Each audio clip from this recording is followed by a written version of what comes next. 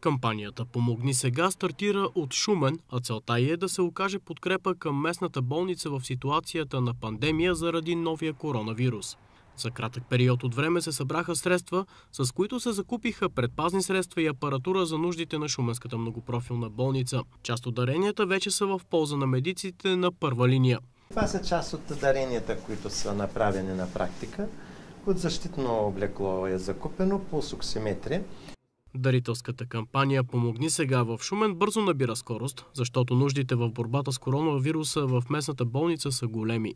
Наистина този фонд, който беше създаден, ни дава една, едно спокойствие ни дава, тъй като ние знаем, че в един момент, когато ни потребват някакви предпазни средства или ще бъде някаква апаратура, ние можем да се обърнем към този фонд, съответно да бъде финансирано закупването на тази техника или предпазни средства. На всеки етап от епидемията на нас ще бъдат необходими различни средства. Предполагам, че всеки усеща тази модерна подкрепа и знае, че не сме сами на фронта, както се казва, нали?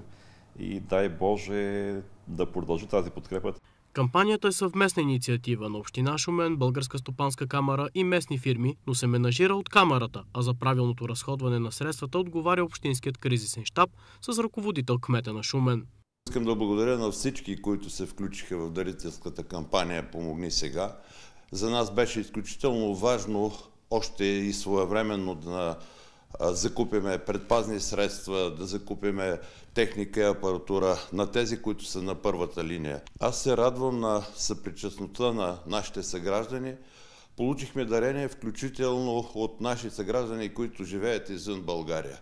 И това е много трогателно.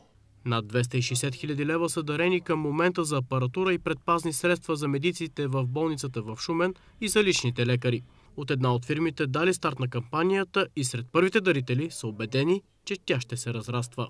Най-важното в тази кампания е, че, че създадахме модел.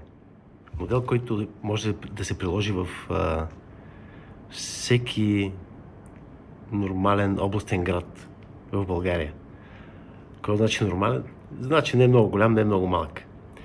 А, тоест този модел е приложим за повечето областни градове.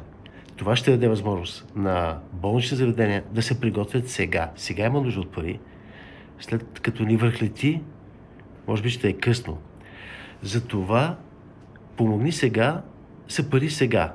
Да се приготвиме, ако е война, да се приготвим за войната, да си изкопаем оковите, да си направим укрепленията. Това е смисъла на този фонд. Целта на кампанията Помогни сега, стартирала от Шумен, е да обхване и други градове в страната, чието болници и медици имат нужда от подкрепа по време на пандемията, а началото вече е поставено и в Добрич.